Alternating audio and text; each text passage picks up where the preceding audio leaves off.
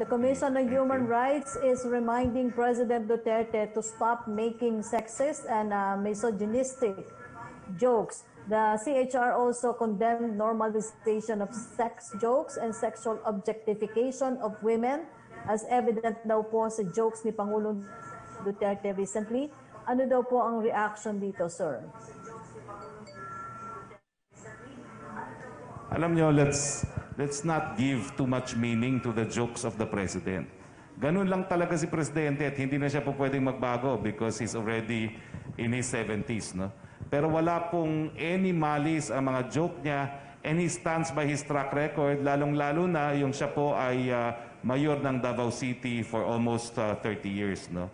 Eh, makikita po natin na ah, Davao really stands out as a model city pagdating po dun sa upholding and asserting women's rights, reproductive rights, and uh, uh, providing them security against domestic violence. Malinaw na malinaw po ang record ni Presidente. So ang pakiusap ko po, wag tayo parang Amerikano. Yung mga Amerikano kasi lahat binibigyan ng uh, napakalalim na kahulugan. Pero dito po naman sa Pilipinas, let's take a joke for what it is, a joke.